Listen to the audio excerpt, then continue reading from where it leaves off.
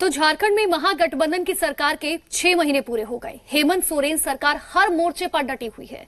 Corona काल में सरकार ने सीमित साधनों में बेहतरीन काम किया। लॉकडाउन के दौरान सबसे पहले झारखंड के मजदूरों के लिए ट्रेन भी दौड़ाई। लेह लद्दाख में फंसे प्रवासी मजदूरों को हवाई जहाज़ से लाया गया। वापस आए मजदूरों के लिए रोज़गार, राशन जैसे कई महत्वपूर्ण योजनाओं को अमली जामा पहनाने का काम भी किया जा रहा है। यानी कि छह महीने की सरकार में करीब तीन महीने से अधिक लॉकडाउन ही रहा। हालाँकि बीजेपी सरकार की छमाही पर सवाल उठा रही है तो सत्ता पक्ष उपलब्धियाँ भी गिना रही है। हेमंत सरकार के छह महीने पूरे हो चुके हैं। छह महीने पूरे होने पर सरकार के कामकाज के आकलन को लेकर चर्चा तेज है। सत्ताधारी सरकार की उपलब्धियाँ गिना रहे हैं। वित्त मंत्री रामेश्वर उरांव की दलील है कि कोरोना के कारण काम पर असर पड़ा है। विधानसभा के सत्र को रोकना पड़ा। वहीं कोरोना काल में स्वास्थ्य विभाग, ग्रामीण विकास विभाग, कृषि विभाग, खाद्य आपूर्ति विभाग बेहतरीन काम कर रहा है। मुख्यमंत्री ने उदारता के साथ जनता को राहत देने का काम किया है। और मैं इतना बताऊँ कि जगह जगह से झारखंड सरकार की प्रशंसा हो रही है। केवल राज्य में नहीं, बाहर के राज्य के भी लोग जो तटस्थ हैं उन लोग भी बता रहे हैं कि नहीं, झारखंड में अच्छा काम हुआ है। झारखंड से बाहर भी हेमंत सरकार के काम की प्रशंसा हो रही है। सरकार ने लॉकडाउन के दौरान प्रवासी मजदूरों को जहाज़ से लाने का काम किया। मंत्री मिथिलेश ठाकुर की दलील है कि हमारे सरकार की उपलब्धि जनता बताती है।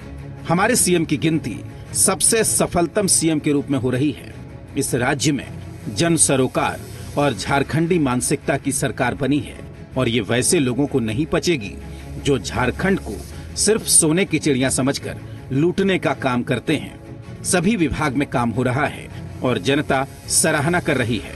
वहीं जेएमएम महासचिव का दावा है कि पाँच साल के किसी छमाही की तुलना हमारे छमाही से कर लें, हम भारी पड़ेंगे।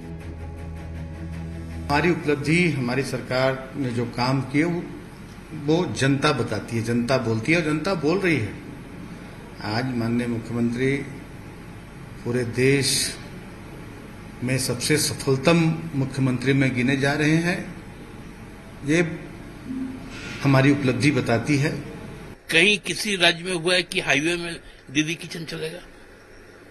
तो ऐसे कई अभूतपूर्व काम हुए जिसकी गणना नहीं की जा सकती है और जो अब एक माइलस्टोन बन गया है गवर्नेंस का पूरे देश में। सत्ता पक्ष के नेता अपनी सरकार के काम की वाहवाही कर रहे हैं तो बीजेपी तंज कस रही है।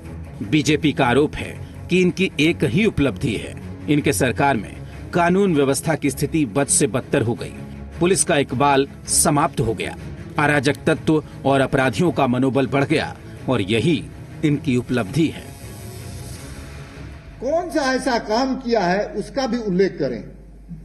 छह महीने की सरकार, एक भी योजना, एक भी किलोमीटर एक किलोमीटर सड़क बन पाई क्या? आज इसलिए हम कह सकते हैं कि ये सरकार अपनी जिम्मेवारी से न बचे। इनकी उपलब्धि है और एक उपलब्धि अवश्य है कि कानून व्यवस्था की स्थिति इनकी सरकार में बद से बदतर हो गई है। कोरोना की वजह से वाकई राज्य में कई काम प्रभावित हुए। लॉकडाउन ने आर्थिक रफ्तार पर ब्रेक लगा दिया, जिसे अब दोबारा से रफ्तार देना सरकार की प्राथमिकता होगी। चंदन, जी मीडिया, रांची।